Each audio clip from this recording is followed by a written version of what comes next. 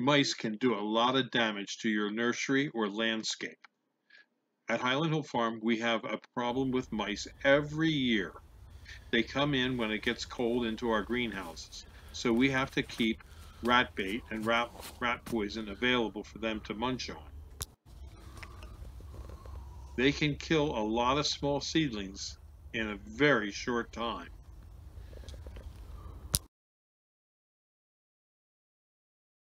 Deer also can do a lot of damage to your landscape, but you don't need to poison them. We have a number of control methods for deer that are non-lethal. First, you can buy deer-resistant trees and shrubs that the deer won't eat. Second, you can spray your foliage of susceptible plants with deer repellent. And third, you can fence off your property so that they can't get in.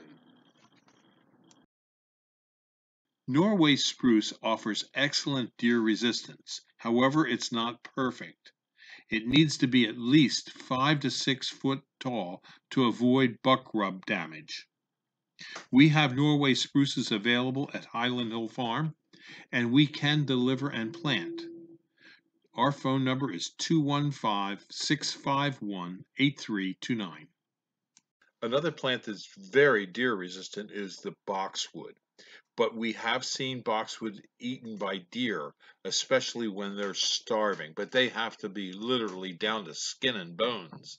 And in that case, they'll also eat plastic wrappers off the side of the street if it has sugar in it.